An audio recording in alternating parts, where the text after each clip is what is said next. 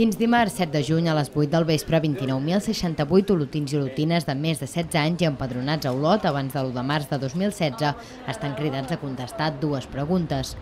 Olot ha de deixar de celebrar Correbous i consideres la variant d'Olot una obra urgent i prioritària? En tots dos casos, les respostes possibles poden ser sí, no o en blanc. Cal tenir en compte que només es pot votar per internet.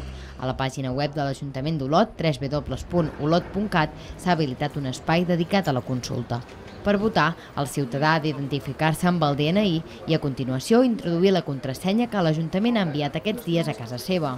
En cas de trobar qualsevol problema o incidència, cal posar-se en contacte amb l'Oficina d'Atenció al Ciutadà de l'Ajuntament. L'oficina serà l'espai de referència de la consulta i l'únic lloc on davant qualsevol problema pot generar un nou codi d'identificació per votar. Les persones que no tinguin accés a internet o bé necessitin ajuda per votar poden adreçar-se a banda de l'Oficina d'Atenció al Ciutadà, a la Biblioteca Maria Baireda, l'Institut Municipal de Promoció, l'Institut Municipal d'Educació i Joventut, el Consorci d'Acció Social o l'Hospital d'Olot i Comarcal de la Garrotxa.